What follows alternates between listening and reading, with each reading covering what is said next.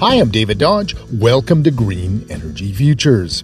Canada and the United States just wrapped up the North American Renewable Integration Study, a five year study that examined future scenarios for the transition to a low carbon grid. The Canadian Renewable Energy Association co chaired a Canadian stakeholder committee that coordinated input from industry in Canada. We talked to Phil McKay.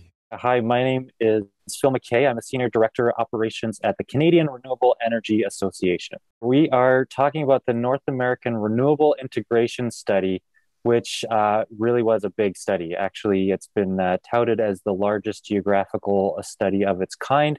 And it is looking at the integration of renewable energy, so wind, uh, solar, uh, hydro, um, across the entire continent of North America. The mega study concluded there are multiple pathways to a low carbon future. It was aimed around looking at uh, cost optimization of renewable integration.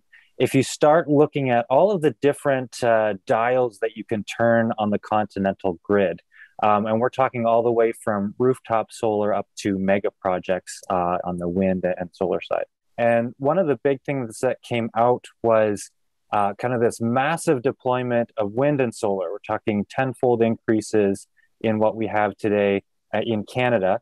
So, how much solar and wind are we talking about? So, what we see in the range of scenarios is 78 to 150 gigawatts of wind and 34 to 51 gigawatts of solar. So, that's, yeah, at least a tenfold increase on that high end, which is uh, a massive build out.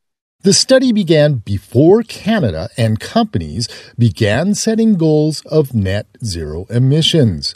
But even in the business as usual scenario, Canada gets 90% of its electricity from renewable energy, including hydro, by 2050.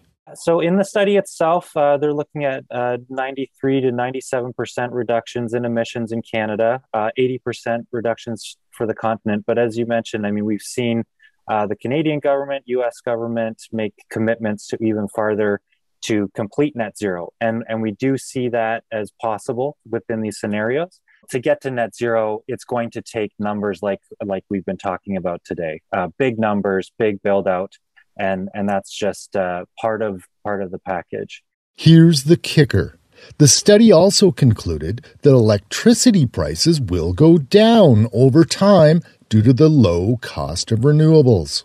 That yeah, that certainly was a big win when we saw when we saw the uh, the wind procurements in Alberta and Saskatchewan with uh, really low low prices, um, and uh, has been a real boost. We believe that we're on the right path here and we're, we're doing the right thing, but really exciting to have the economics behind us. The study concluded a massive build out of transmission lines to interconnect the Canadian provinces and the U.S. grids could save billions in the long run and accommodate large amounts of renewable energy. Right. So you see the sun hitting the East Coast and the, uh, the solar panels light up, generation increases. You can ship some of that west a lot faster than the sun moves. And so that transmission can play that role. Natural gas does continue to play a role in all scenarios, but smart grids, energy storage, electric vehicles, and electricity policies are wildcards that could make the scenarios more and not less favorable from a consumer point of view. We've barely scratched the surface of this giant study. Learn more at greenenergyfutures.ca. For Green Energy Futures, I'm David Dodge.